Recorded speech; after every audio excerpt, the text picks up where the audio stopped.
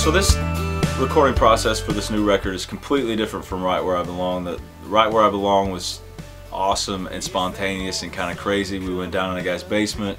I took my band down there. We we made the record down there. Uh, it was uh, it was really cool, which was completely different from Torn Jeans and Tailgates, where we used Ocean Way Studio and all these session musicians who have won Grammys. So it's it's different to see what you can kind of get out of each one. And I think for me, my focus has been everyone's always like Clayton, you're you're better live than you are even on your record. So I really, really, really wanted to try to take everything that the live show that we do on the live show and we can translate this into you know with